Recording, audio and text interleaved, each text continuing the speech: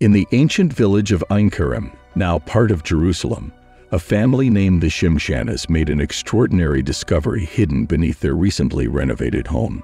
Beneath the flooring of their house lay an ancient secret that had been lost for centuries, potentially connected to biblical history. This revelation had the potential to reshape our understanding of the Christian world. Ein Kerem, nestled within modern-day Jerusalem, has a rich historical heritage dating back to the Iron Age. It has been associated with biblical figures like John the Baptist and was even linked to materials used in the construction of the Second Jewish Temple in Jerusalem.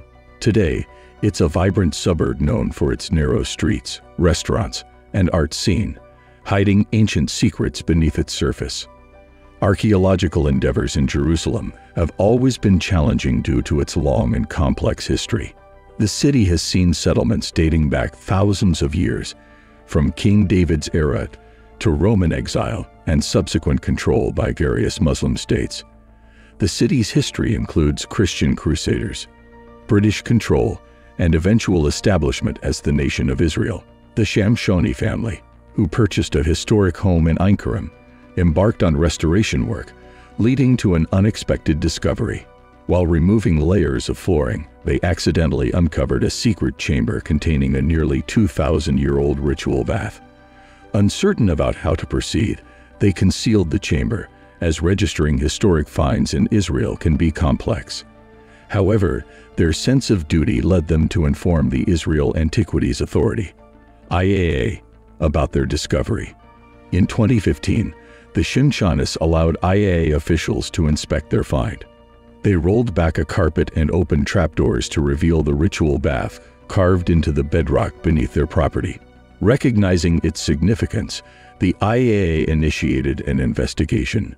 This discovery added to a series of archaeological revelations in Jerusalem, including the uncovering of an ancient street believed to be built by Pontius Pilate and subterranean chambers near the Second Jewish Temple. Each of these findings contributes to a clearer understanding of Jerusalem's rich history. The Shimshoni family's accidental discovery of an ancient ritual bath beneath their home in Ein Kerem, Jerusalem, has shed new light on the city's historical significance. It joins a series of recent archaeological finds that continue to unravel the mysteries of this ancient and storied city, providing valuable insights into its past and its connections to biblical history. Measuring approximately 11 feet in length, 8 feet in width, and nearly 6 feet in depth, this mikveh was large enough to fully immerse an adult. Situated some 10 feet below ground, it likely had been constructed as part of a residence in the first century AD. What makes this mikveh beneath the Shimshoni residence particularly intriguing is its location within the district of Ein Kerem, a location mentioned in the Bible as the birthplace of John the Baptist and the setting for his mother's encounter with the Virgin Mary. For years, scholars had attempted to identify this location, often associating it with Ein Kerem.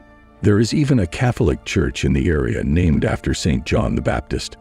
However, archaeological evidence supporting this connection had been scarce until recently. Besides the mikveh, archaeologists have also discovered ancient walls, an olive press, and burial sites in Ein Kerem. These findings, combined with the mikveh, suggest the presence of a Jewish community during the Second Temple period, around 2,000 years ago. While there isn't conclusive proof linking the mikveh to the story of John the Baptist, the evidence indicates that rituals were significant at this site. In Jewish law, ceramic implements used in religious rites are considered contaminated and are typically smashed afterward. Stone implements, on the other hand, are deemed impervious and can be reused. Archaeologists found relics beneath the Shimshoni residence, suggesting adherence to this practice during the site's use. Furthermore, during their investigation of the mikveh, archaeologists detected evidence of fire damage at some point in its history. Speculation arises as to whether this damage occurred in 70 AD when the Romans besieged Jerusalem, resulting in the destruction of the Second Temple. However, the exact timing of this damage remains unestablished. Traditionally, a mikveh is a ritual bath with a vital role in religious ceremonies, still adhered to today by those seeking to follow Judaism. It serves as an act of purification, undertaken after specific activities, such as consuming certain meats. The mikveh discovered beneath the Shimshoni residence is used much like those built thousands of years ago. The mikveh must adhere to specific specifications outlined in Jewish law, reflected in the design of this recent discovery.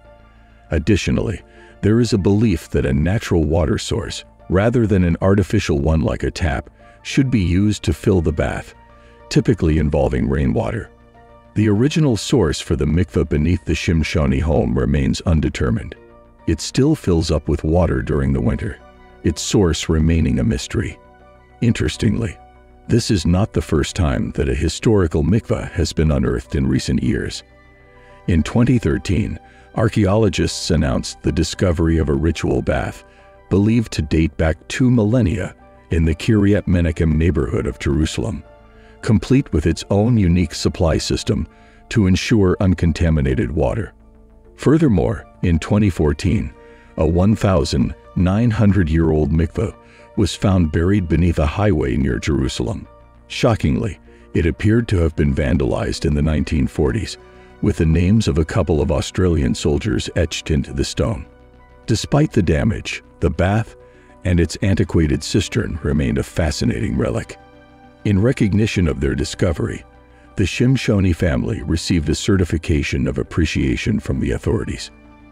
Amit Re'em, an archaeologist with the IAA, emphasized that finding antiquities under private homes or public buildings is a unique occurrence, especially in Jerusalem.